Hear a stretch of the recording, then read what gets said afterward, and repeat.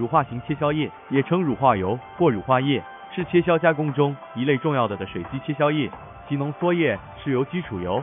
乳化剂及其他功能性添加剂复合调配而成，在加工现场用水将其稀释到一定比例即成使用液，使用液一般为乳状不透明液体，大多数情况下，切削或磨削时，乳化液的使用浓度为百分之一到百分之二十，最常用的使用浓度为百分之五到百分之十，在某些特殊情况下，其使用浓度可达百分之五十，此时有可能会发生相转化，形成油包水型乳液，油箱成为连续箱。